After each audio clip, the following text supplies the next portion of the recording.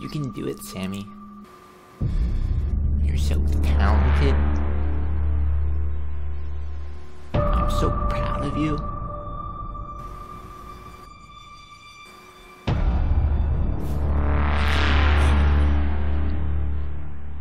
You're so special.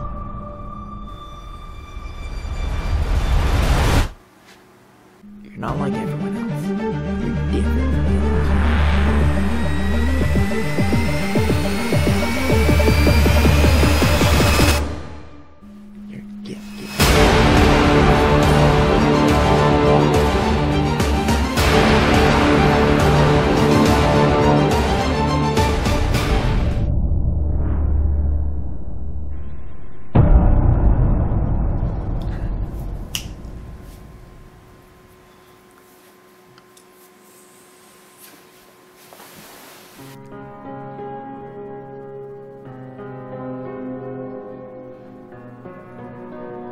People don't realize how hard it is just being better than everyone else.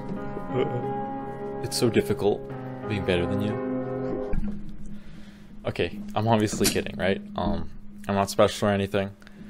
Uh, basically, I had to do this math test in grade four called the CAT test. It was easy math, like 1 plus 1, 2 plus 2, multiplication tables, that kind of thing. Maybe simple algebra. I kind of forget. Like, you know, balance the five dogs and three cats. You know, what is a cat worth versus a dog or whatever. Algebra things. Um, but basically, if you scored the 99th percentile on this test, they're like, hey, he might be gifted. And then you do like more cognitive tests. Like they had this one test where you had nine cubes, and on these cubes they were multi-sided with different colors and shapes. And then you were given an image, and you're like, okay, make this image out of the cubes. I was like, go, and you were timed. And then I think you were rated on that too. And they kind of measured if you were gifted or not out of these tests, right? Um, yeah, basically, I'm not special. It's just something that happened. Uh, you know, if you're having an off day or something, or you weren't trying, you would have just been not certified as not gifted, right? It's just a blanket term. Just real quick, another thing I should mention is that any kid could be put into the gifted program if their parents wanted them to be in it, right? So you could have been like, I think my kid is gifted, let me put them in the program. So there was that. Uh, but after elementary school, if you were declared as gifted, you were given the option to go to one of two gifted schools if you'd want to. Uh, I chose to go to W.H. Ballard, um, and from there on, we had a sixth grade teacher, Mr. Shaben, and looking back, Mr. Shaben was awesome, like really awesome. Um, but we didn't appreciate him in the moment. Uh, but yeah, he would do things like teach us how to build websites, um, which I really appreciate because that was one of the first coding things I ever did, and I'm super into coding now. I'm in computer science; it is my thing. I'm really thankful for that experience. Uh, we also he made the first robotics team, uh, basically like a Lego robotics competition, which was kind of awesome. Like you'd stay after school, build a robot to do like challenges and stuff like that, which was pretty cool. Um, we had like an around the world cooking uh, day where you got to bring in a recipe and just make something. Or someone made fajitas, which were the bomb. Um, I made like some potato things, scalloped potatoes. It was kind of good. Um, honestly, probably one of the first times I ever cooked, which was pretty cool. Um, yeah, he would do all sorts of things like puzzles and riddles, like every day something new, and he would just try to teach us differently. He would try to give us an unconventional approach. He would try to make us excited about learning, but we didn't appreciate that fully. I think that our underappreciation stemmed from outside of the classroom. Um, basically, one day we decided to have a meeting. Mr. Shaven decided to have a meeting.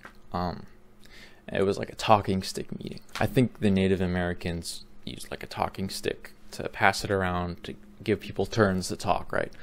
Correct me if I'm wrong.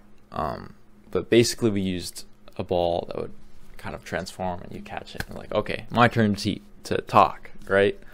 Um, what we wanted to talk about that day was kind of how the rest of the school treated us differently, right?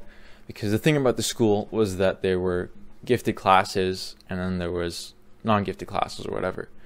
Um, so there was kind of like this division, right? This divide, and there was like some animosity, and we kind of felt it. Like it was just a little weird, you know. And we weren't really mixed in that well, um, and we didn't get really get introduced. And you know, the people who went to this school, it was from kindergarten to grade eight. So they've known each other for the longest time, and then we're just kind of these new kids who showed up in grade six. So there was that factor as well.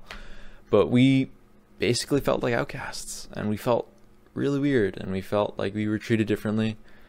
Um, yeah, and we just wanted to be normal. You know, we wanted to fit in. We wanted to be friends with everyone around us. Uh, but it was just really awkward, and in some semblance, I feel like we didn't want to be gifted. You know, we didn't want to be different uh, from everyone else, and I think that's why we kind of underappreciated Mr. Shaven because he want he taught us how cool things were to learn and how awesome it was to do things and go out of our comfort zone. But we wanted to be in our comfort zone. We wanted to fit in. We wanted to be happy with the people around us. I think after that meeting, um, and just after the events that happened afterwards, we weren't as excited about learning anymore. We didn't look forward to Mr. Shaban's lessons, um, and how he pushed us to be better, to to look at learning as fun. Um, we didn't want to learn; we wanted to fit in, and we just strayed as far away from that as possible. I remember me and my friends, we started seeing not trying as cool, you know Because trying and failing was sucky, obviously. So we were like, uh, we're not trying. We're cool because we're not trying. Because people who try hard are sweaty. Ha ha ha ha. Man, that that's such a dumb outlook at life. I can't believe you know I I did that. Ah. Got into gaming, played lots of games. I think I have over 3,500 hours in Steam by now. It's too much. Too much. Too much gaming. Basically, after grade 6, um, in the grade seven, it kind of got to be more normal of a classroom style, and then in grade eight, it was pretty normal. I still like my teachers and stuff, like awesome stuff, but it was kind of more like a normal, regular classroom sort of thing. And then in grade nine, when I got into high school, I remember seeing uh, the motto on the back of a T-shirt or on the poster or something, and it was like, "My hard work beats your talent." and I felt hella called out. Okay, I was like, ugh, because you know, supposedly I had talent, and I didn't try hard. Okay, I didn't put effort into things, so I was like, frick, what am I gonna do? Um, but in grade nine and ten, I kind of breezed through things because things in grade nine and ten are pretty easy, relatively to the rest of high school, really easy. But as soon as I got to grade 11 and 12, some courses started to hit me where I couldn't just breeze through them anymore, right? Um, like I took uh, functions, advanced functions, calculus, bam, bam, bam, you know, like things started adding up and, you know, I was failing tests and messing up assignments and I really had to assert myself to try hard. I had to learn how important it was to study, to put in effort, um, and actually how cool it was to do so. Right? You don't get anywhere in life by not trying hard. You don't get anywhere in life by just laying around and not giving any effort.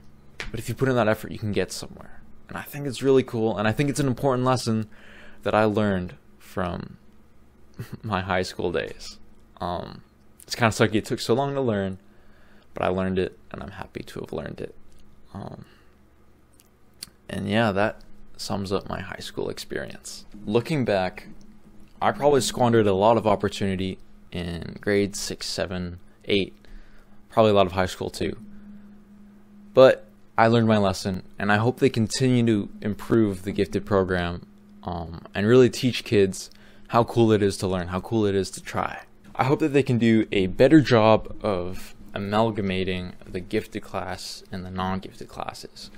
Um, you know, put them in the same gym classes and the same French classes, the same art classes. Let them mingle, let them get to know each other, you know, humanize the whole experience.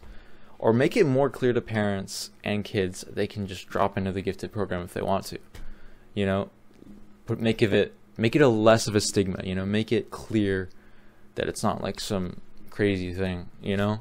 Um or make it advanced classes that any kid could drop into, like make it really really clear. Something like that and just focus on that human experience. Because it's cool to learn, but you also need to have a good environment around you to learn too. Um, but yeah, that's it, guys. Um, if you like the video, leave a comment, subscribe.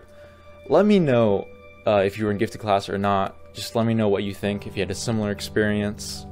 And yeah, talk to you later.